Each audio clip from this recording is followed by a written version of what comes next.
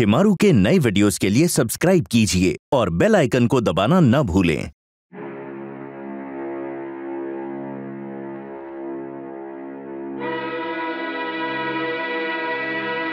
Checking शुरू की जाए।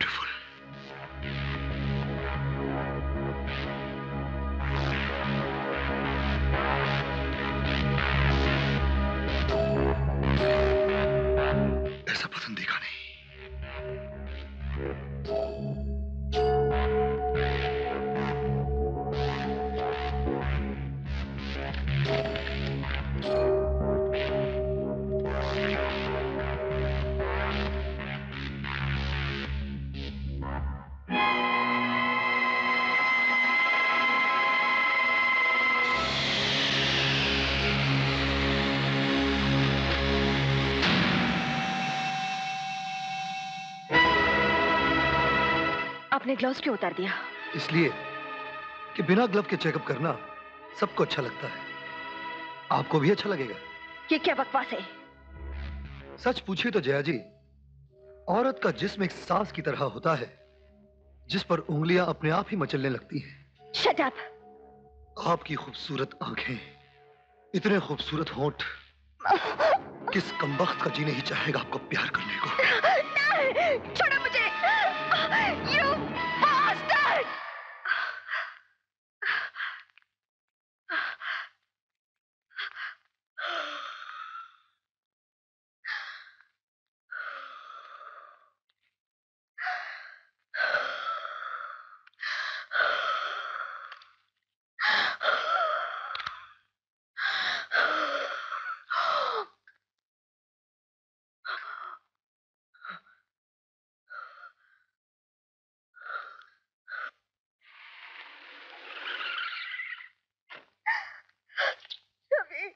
जया अरे जया क्या हुआ? क्या हुआ जया? अरे जया बैठो। बताओ बताओ क्या हुआ? डॉक्टर राजन ने डॉक्टर। अरे जया क्या कहा डॉक्टर राजन ने?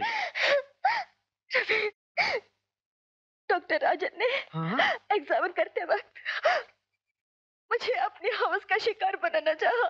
क्या? डॉक्टर राजन की ये जुरत मैं उसका जीना हराम कर दूँगा। आई किल दैट बास्टर्ड अगर वो अपने गंदे इरादे में सफल हो जाता तो मैं आत्महत्या कर लेती। नहीं जया ऐसा मत करो। तो अब क्या इरादा है? क्या मतलब वर्षा? डॉक्टर राजन ने तुम्हारी इज़्ज़त पर ही नहीं दुनिया के विश्वास पर हमला किया है। इसकी तुम्हें पुलिस और मेडिकल एसोसिएशन दोनों में कंप्लेन करनी चाहिए। करेक्ट एब्सोल्युटली करेक्ट नहीं वर्षा इससे हमारी बड़ी बदनामी होगी। बदनामी कैसी? तुम खामोश रहोगी तो उसकी हिम्मत और बढ़ जाएगी। पता नहीं उसने आज तक कितनी मरीज़ औरतों की इज़्ज़त लूटी होगी। और आगे भी करता ही रहेगा। ऐसा नामचीन डॉक्टर जो सेक्स के पीछे पागल हो उसे तो सबक सिखाना ही पड़ेगा। ये कंप्लेन तुम्हें ज़रूर करनी पड़ेगी। ऑफ़ कोर्स और पूरी दुनिया हमारा साथ देगी। मैं डॉक्टर राजन को अखबारों में वीडियो मैगजीन्स में टीवी में सब जगह बदनाम करके रख दूँगी। मगर ये कंप्लेन तुम्हें करनी होगी जया। हाँ जया। हाँ। प्रधानमंत्री विदेश यात्रा से आज दिल्ली लौट आए हैं। आज सुबह कश्मीर घाटी में घुसने वाले उग्रवादियों के गिरोह पर सीमा सुरक्षा बल ने गोली चलाई। इस मुठभेड़ में सीमा सुरक्षा बल का एक जवान घायल हुआ और सात उग्रवादियों के जान से मारे जाने की सूचना मिली है। अन्य समाचारों में, प्रख्यात स्त्री रोग विशेषज्ञ डॉक्टर राजन बख्शी के ऊपर बलात्कार तथा महिला मरीजों के साथ दुर्व्यवहार करने का जो मुकदमा चल रहा था, उसमें डॉक्टर राजन बख्शी को अदालत द्वारा कसूरवार पाया गया है। बलात्कार की कोशिश करने का ये मुकदमा समाज की एक सम्मानित महिला श्रीमती जया रवि कपूर की शिकायत के आधार पर पुलिस द्वारा चलाया गया था। मेडिकल एसोसिएशन के अध्यक्ष डॉक्टर मधु कुमार वर्मा ने बलात्कार और दुर्व्यवहार की इन घटनाओं पर खेद व्यक्त करते हुए खास तौर से महिला मरीजों से अपील की थी कि वे अपनी शिकायतें लेकर सामने आएँ और अपने सम्मान की रक्षा के साथ साथ डॉक्टरी पेशे की पवित्रता और सम्मान की रक्षा करें।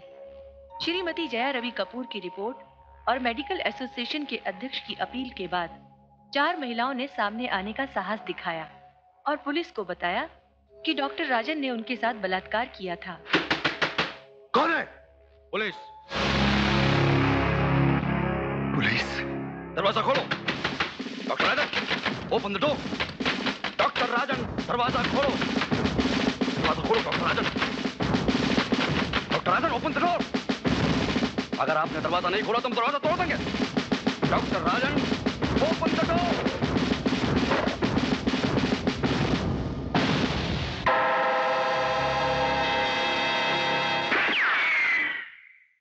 hi Ravi hi Varsha. Hi Jaya. Hi देखा आज का पेपर अरे ऐसे डॉक्टर का तो यही अंजाम होना था।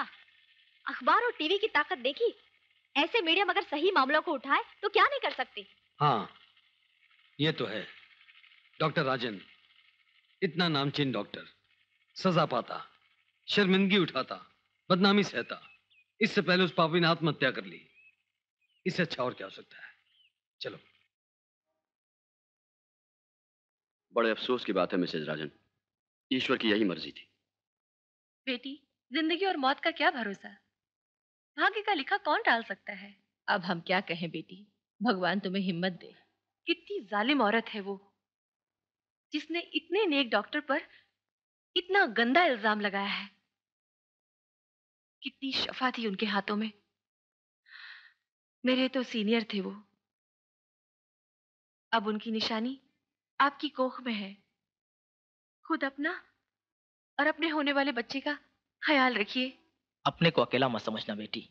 हम सब तुम्हारे साथ हैं। अच्छा बेटी हम चलते हैं।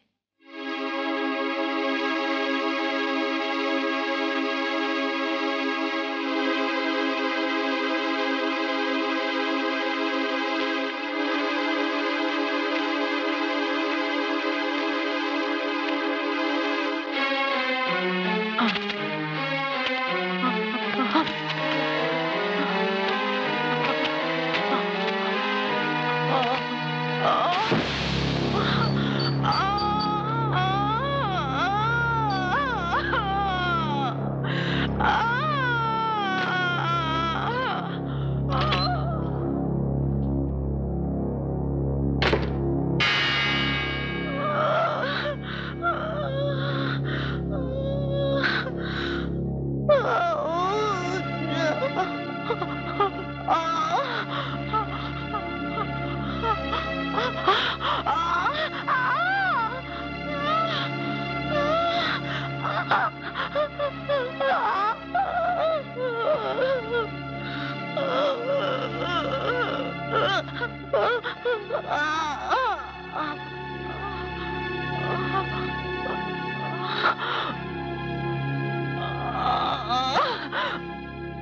बच्चा पेट ही में मर गया।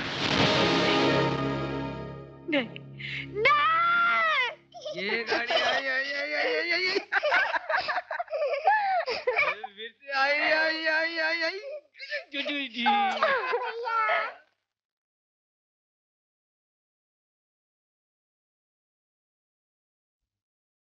कुछ खाया?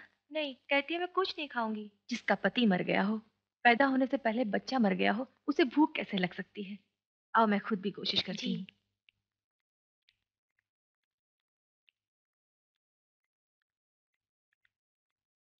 मैंने कहा ना मुझे कुछ नहीं खाना। ठीक है ले जाओ। लेकिन बेटी जो कुछ हुआ है उसे भूल जाओ। जीना सीखो। हाँ सिस्टर। जीऊँगी। हाँ बेटी दिल लगाने की कोशिश करो। मैं तुम्हारे लिए टीवी ऑन करती हूँ। अभी अभी जया जी से बातचीत के दौरान तीन बातें बड़ी साफ़ हुई। पहली ये कि हिंदुस्तानी औरत, शर्म, हया और बदनामी के डर से सारे अत्याचार चुपचाप सह लेती है। दूसरी ये कि अत्याचार करना और अत्याचार सहना, ये जुर्म है। और तीसरी ये कि औरत कोमल होती है, कमज़ोर नहीं। और इसका उन्होंने सबूत भी दिया। डॉक्टर राजन ने उनके साथ इज़्ज़त लूटने की जो शर्मनाक हरकत की थी उसकी सजा कानून ने अगर नहीं दी तो भगवान ने उसे दी। झूठ! मेरा पति कभी ऐसा नहीं कर सकता।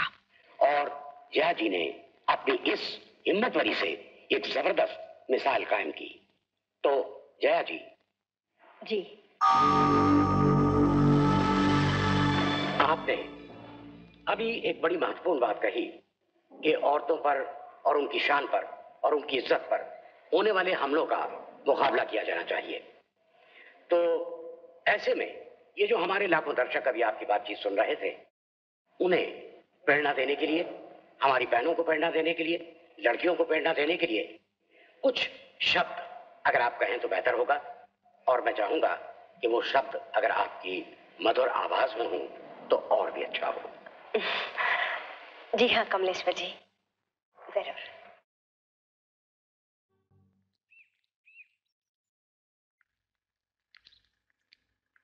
Hi, everybody. Hello, Auntie. Hi. Hello. Bye, Bye Bye oh, bye. Driver! Driver!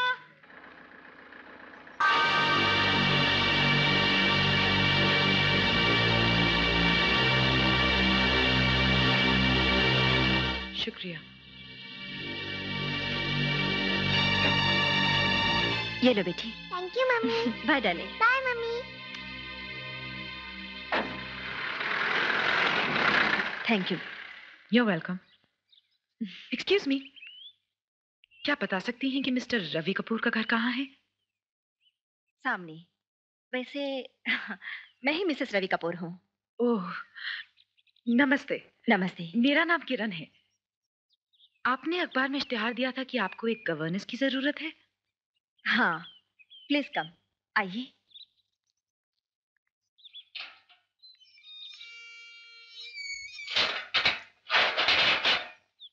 लेकिन आप इतनी सुबह सुबह कैसे जी मेरी ज़रूरत ही कुछ ऐसी है। दरअसल मैं नहीं चाहती थी कि ये विज्ञापन देखकर मुझसे पहले आपके पास कोई पहुँच जाए। जहाँ मैं काम कर रही हूँ वो फैमिली कल हमेशा के लिए कनाडा जा रही है। और मेरी प्रॉब्लम ये है कि कल के बाद मेरे पास रहने के लिए कोई जगह नहीं रह जाएगी। ओ ऐसी माफ़ कीजिएगा मैंने सुबह सुबह आपको तकलीफ़ दी। आपको बुरा तो नहीं लगा? नहीं नहीं ऐसा कुछ नहीं। आप आइए मेरे साथ।